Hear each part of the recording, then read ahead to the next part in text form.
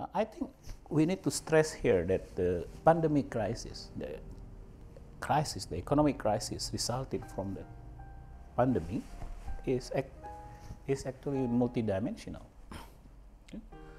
Uh, so it means that its recovery too has to be multidimensional. Uh, so, for example, we should first thing if we want to recover, we should be recover from what?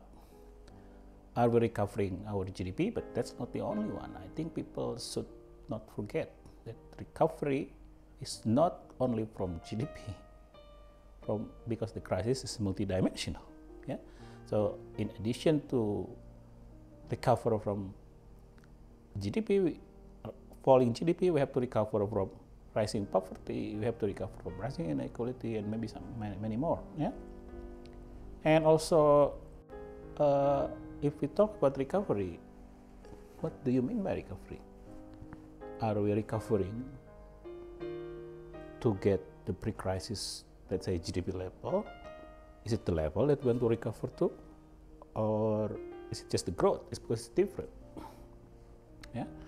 Another issue that we should ask ourselves is uh, if it's about recovery, uh, when exactly do you think we can call ourselves recovered? Yeah. So that's just at least three questions we need to ask when we want to talk about the recovery of crisis, especially this pandemic crisis. And if I may, if I may uh, give examples, yeah, at least. So at least I think we have to recover from the following. We have to recover from falling GDP per capita, not only GDP, but falling GDP per capita that happened in 2020 at least minus 2.5%. So we have to recover from that. Because GDP per capita is very important yeah? In, in, in, the determi in the determination of the status, welfare status, at least on average for our country. Yeah? So we have to recover from falling GDP per capita, but that's not the only one. So we have to also recover from rising poverty. Yeah? In 2020, which is predicted to be at least 1%, but it can be even worse to 6% additional poverty incident, incidents. Yeah? And apart from poverty, we also have to recover from rising inequality. Because apparently the pandemic actually uh, makes most of us suffer, but people who are in the lower part of the distributions actually suffer more. So it means we have rising inequality we have to recover from that too. We have to recover from rising unemployment. This is very important because now we have additional 2% employment. If we are talking about 150 or 100 something million people, so we're talking about millions of people that doesn't have jobs. And we have to return the job to them. It means that's, that's what we call recovery. Yeah. Another is we, now we have bigger debt. At least in this year and next year, we will have additional 5% of GDP government debt. And this is also something that we have to recover from because this cannot be forever. Yeah? Who will pay for this? Yeah? And then this is one thing that I most disturbing actually to me because of my role as an educator. We have a deteriorating human capital from school closures. Uh, and this effect, yeah, the effect of this will be permanent, yeah, unless we do something very transformative. Another thing is we have to recover also from human capital uh, deteriorating, the coming from malnutrition because people with Indonesia even before COVID crisis has quite high malnutrition, high stunting. I think one of, I, I think uh, two out of five, if I'm not mistaken, uh, Indonesian children under five experience uh, stunting, and stunting actually is a is, is a sign of lower intellectual capacity for the futures of these children. Yeah? And if you have a crisis, this will be even worse because people don't have money and people and normally nutrition, good nutrition for children is not actually something that people put priority on. Yeah. Uh, we have also may get a declining productivity from global value chain disruptions because uh, global value chain is actually nowadays is a source yeah, of technological improvement in terms of the productions because uh, we are part of the global chains of production technology. Yeah? So actually there are a bit of transfer technology spillover, spillover, spillover uh, in our economy. Yet because of the crisis, this stops, not stop actually, disrupt. Yeah? So the productivity then uh, will deteriorate too. And I think uh, there are more to this. Yeah, like I, this is this is not a uh, exhausted list. But things that I want to emphasize is this final point. During this during this crisis, this all these indicators will deteriorate together. Yeah. All falling, for example. Yeah. I mean deteriorating. Yeah. However, uh, however, the when when when when when we when we recover, yeah, there is no guarantee that this, this will recover together again at the same rate. Why? Because all these variables may have been related, but how they relate, it depend on various other factors. For example, yeah, you can have recovery from falling GDP per capita by increasing economic growth more, but you can do that without recovering from poverty. But you can do that without recovering from rising inequality. You can have jobless growth. Yeah, that means that we can recover from GDP per capita, but we are not recover from rising unemployment. So that's an issue that I think people need to talk about more, yeah, because recovery definitely is not only about economic growth. This crisis, again, I say again, again, and again, this crisis is multidimensional. So its recovery has to be also mean, has to be also uh, multidimensional, and we have to consider some trade-off among these indicators. Uh, let's talk about GDP per capita. I just want to share you about the magnitude of what we're facing. Yeah? This is this is this is the quarter to quarter uh, GDP that was very recently coming from World Bank uh, report titled From Containment to Recovery Economic Update for the Asia Pacific for Indonesia. So as you can see here, if what we are, if the recovery what we are talking about is come back to the pre-crisis level, Actually, it will take uh, more than one year to recover from that. So uh, if, you, if, you, see the picture correctly, then we will be coming to the pre-crisis uh, GDP level in quarter two 2021. Yeah?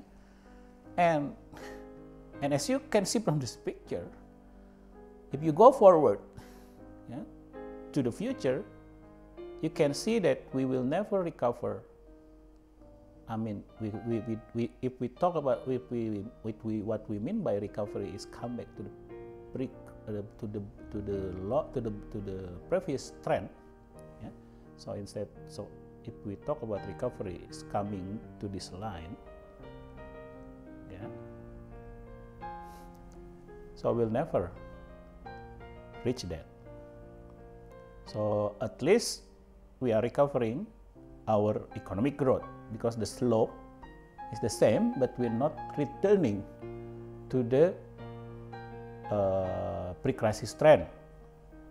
Okay, so it means the loss, the economic cost, yeah, that we get from this crisis is permanent and will never recover it because the cost of the crisis in terms of the correct interpretation of economic opportunity cost is is the difference between the pre-crisis trend and the actual one we get. And that gap persists, it means the cost is permanent. Yeah. So, so, so, and but but apparently we are not alone. Yeah. Uh, most countries in in in, in the world, and, especially particularly in this uh, four other countries, uh, experiencing the same thing in terms of the profile of the recovery, the economic growth, GDP. Some some better than us, like Taiwan, uh, sorry Vietnam, uh, uh, but some is worse than us, like Philippines. Philippines, for example, will take another double the time we get, yeah? the time that we will have, just to come back from the pre-crisis level of GDP, let alone their pre-crisis uh, trend. Yeah, so we're not alone, but we are not the worst, but we are not the best. Yeah, uh, but I'm more interested in the situations of the poverty as a result of the pandemic and the prospect coming back to uh, uh, to our pre-crisis. Uh, this is what happened and I think it's quite serious.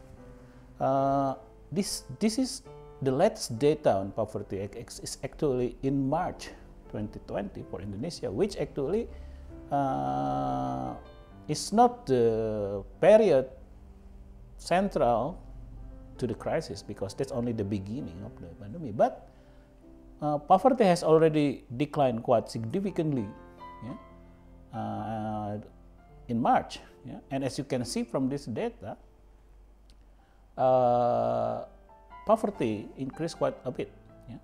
here. So almost 1% increase, I think, uh, a little bit less yeah? here. But what, uh, what is most worrying to me is what happened in urban areas. This is in urban area. As you, as why I'm most I I'm uh, most concerned about this for, uh, uh, because Indonesia is actually urban now, yeah, and the urbanization rate is quite high because many people go to urban area every year. New people coming to urban area, and many region from rural they turn into urban area too, and it's quite rapid these transformations, and then and then also in the future this is even becoming more relevant. Why? Because uh, in 2030, for example, we we will be projected to have our people live in urban area 70% of them. Yeah, so urban is our future.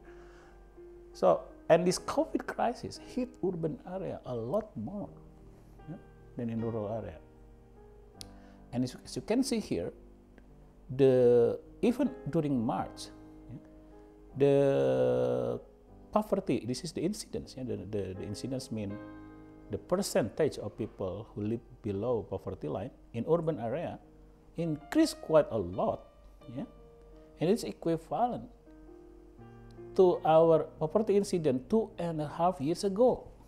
Can you imagine? Two and a half years ago. That's more, that's, that's half of, of the age, oh, the durations of the elected administration. Like every election, you give half of five years to govern, right?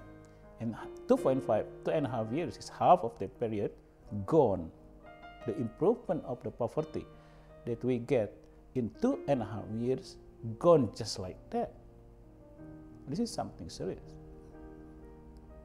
And and this is not maybe this is not the worst because because the worst may yet to come because this is only March. Last month, BPS already did some survey to measure this again. Yeah?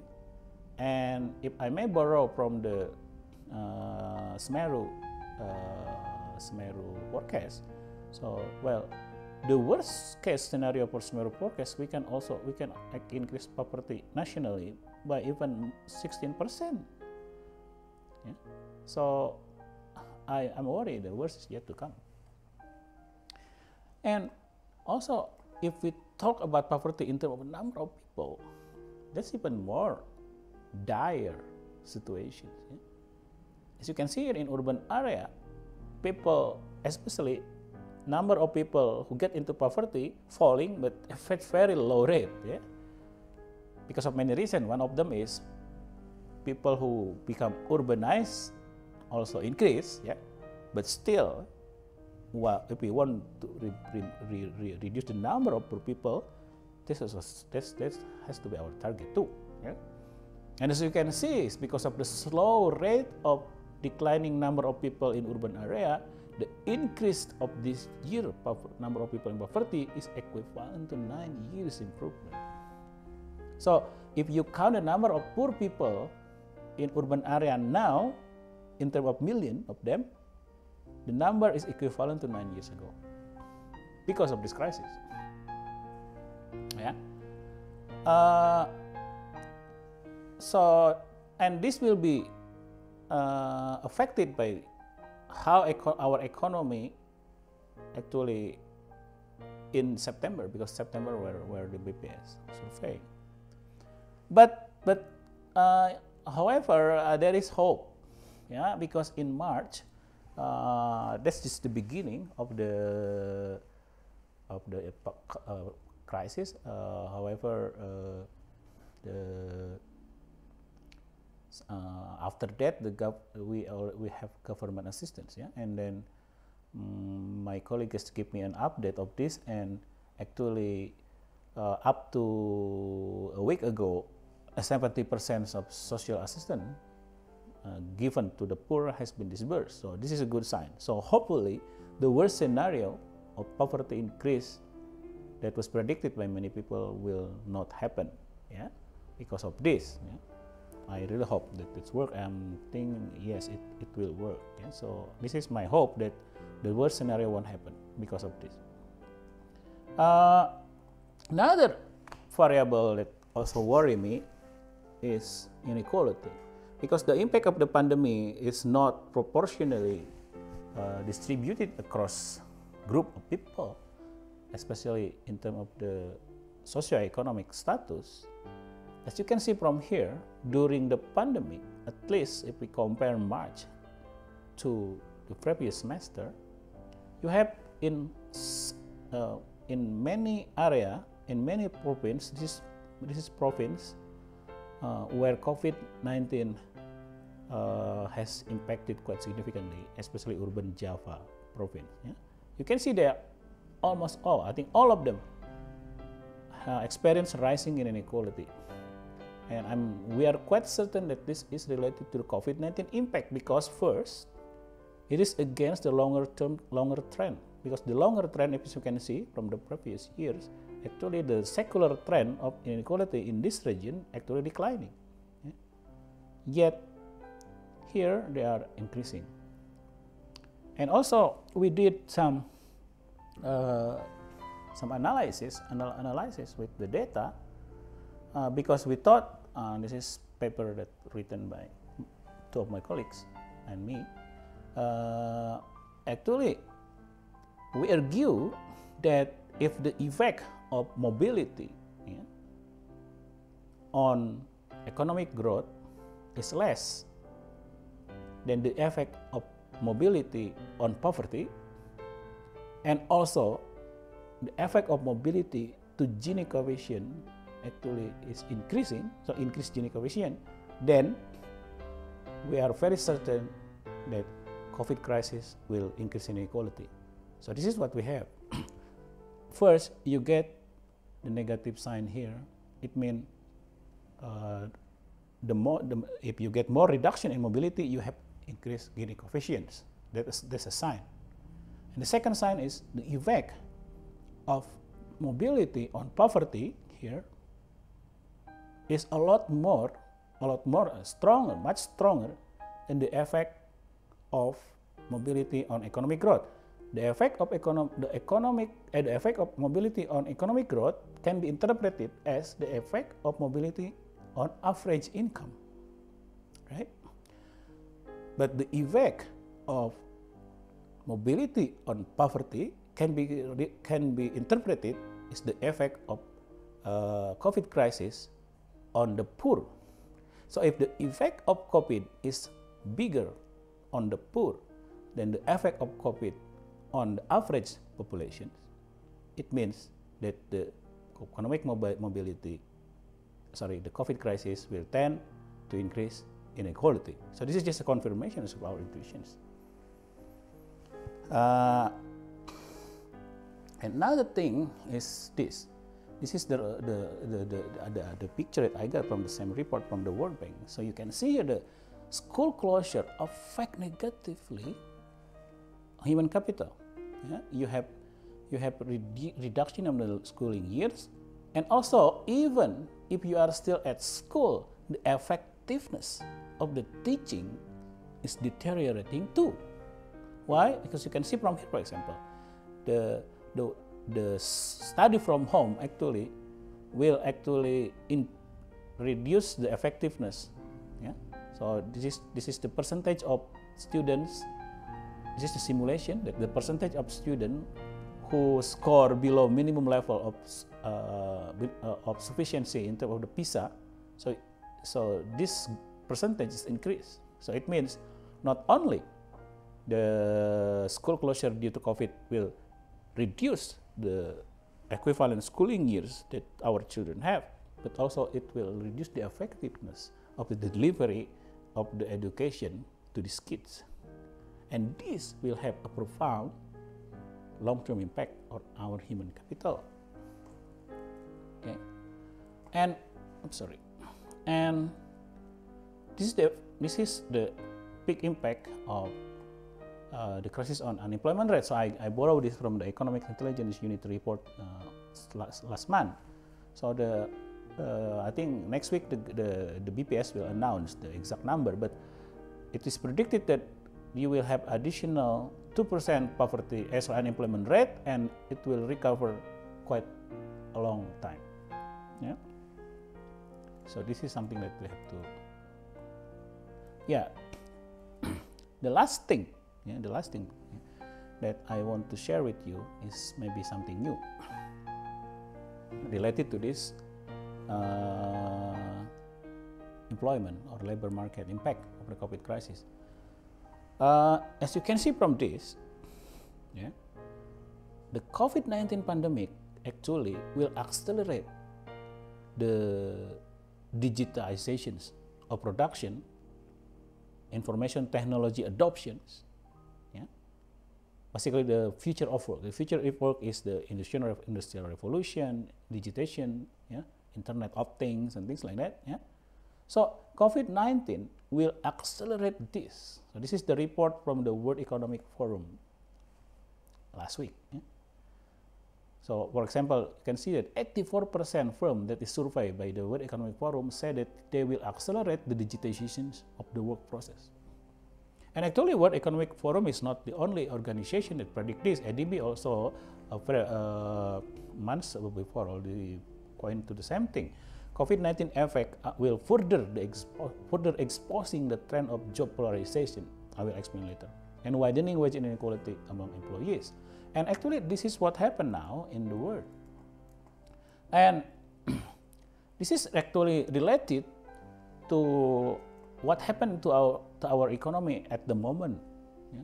because now our economy is experiencing actually their engine of growth experiencing the stall of their engine of growth many of, engine of growth actually is productivity growth that many economists consider its its source coming mostly from the structural transformations. If you if you if you have more manufacturing, for example, or more industry, then by doing the reallocation of labor from agriculture to manufacturing, then you have more productivity. So industrialization is actually the key element to this increasing productivity. And what happened now in Indonesia is we can call, some people call it, or we call it stall industrialization. So manufacturing has been stagnant, industry has been stagnant, but agriculture rising both in terms of the value added and employment. But what is rising is actually not industry, but actually service sector. And the service sector where our labor goes to is actually service sector that has low productivity. For example, this trade yeah, sector or transportation sector. Yeah. And as a result of those, Indonesia for the last decades also experiencing this is the, the symptom of stall industrialization or the symptom of the premature deindustrialization is that actually the if ideally if a country goes from low I mean the, uh, from low income countries to high income country so what goes along with it is the increasing formality of the job. But actually for the last decades Indonesia uh, has been stagnant in making our worker into a formal sector a formal formal labor. Yeah? So you have this is a sign of industrialization, and and this is also showing that actually when you this is the data of uh, districts Indonesian districts, yeah, uh, uh, employment by sectors for some particular services sectors, yeah, from 1990s to 2000. As you can see here, I just want to show you that the more district yeah, become service sector, I mean independent on service sector, then they are normally associated with the increasing inequality. Yeah. And some theories suggest that this might happen to the uh, something called routine bias technical change. So I'm not going to, because time is limited. So I wish to explain to you very quickly. Uh, I have a very good, interesting hobby actually. When I when I when I was students, yeah, uh, in Bandung, yeah. I always go to Braga every time they have uh, computer fair. Every year at least they have once. I never miss. Okay, what I observe from the fair yeah, yeah, is that the price of computer never change practically. Yeah. When I was, like for example, many years ago, the price of computer is around 3 to 4 million desktop, yeah? 5 million or something. Next year, the same. Yeah? Next year, the same, just 5 million. In terms of nominal price, it's the same. However, you know that the quality of this computer, if you buy with the same nominal price, is actually a lot better. Actually, the, the real cost of getting a computer actually 50% cheaper every year. Can you, can you, can you imagine? This price of computer 50% cheaper every year in real term. Of course, this will have a very big impact on how we produce goods and services. People will respond. So what will happen is, according to this RBTC theory, because of this IT industry, yeah, routine job will be replaced by computer, by algorithm. This is called routinization, yeah, the increasing non-routine job. And in, in so doing, people who are used to computer will have increase in salaries, people who are not GovTech, However, people who cannot cope with this new technology, they will becoming low skilled workers. This is called job polarization. And the effect of this is, is, is inequality. And this is already proven in many studies actually, especially in developed countries. And in Indonesia, some study, this is, this is I, I, I have my own study, but I, don't, uh, I, I prefer to use this first because this is a paper recently in 2018 published in one of the best development economics journal, Journal of Development Economics, who actually show in this table that Indonesia is apparently making a significant routinization here. So what happened in developed country, like in United Kingdom, in France, yeah, routinization, the, the, the more jobs becoming, uh, you know, like can easily be changed by algorithm, computer algorithm actually increasing. And that happened in Indonesia too. So it, so we may be experiencing this uh, job polarization or routinization that may explain why our economy actually cannot really, you know, like make the job informal because this this this this job is actually replaced by the computer. And my other data that I confirm this, this is from my own research, uh, which suggests that actually if you can see here, from the 2001 to 2015, the the job that are routine and manual, manual mean use otot ya, muscle, actually declining. Yeah? But the type of tasks that are non-routine, both uh, cognitive, yeah, analytic, yeah, analytic mean you use your brain to to to to to, to perform your task, yeah? and non-routine cognitive personal that it means you need face-to-face interview. Yeah? Uh, apart, not not necessarily personal personal uh, face to face, but definitely this task that uh, that are non-routine is increasing. Yeah? So it means that uh, this what what what what what what worry me the most is this COVID-19 crisis will accelerate will actually accelerate this process of the digitization, technological revolutions. And then we are in the middle of having the bad side of it. Okay? So this crisis, if we are not prepared, then it will make even our in a, in a, in a lot worse situations in the future, especially in terms of the creation of the job but most particularly is uh, inclusive growth. More growth, more employment, and uh, more equal income distributions.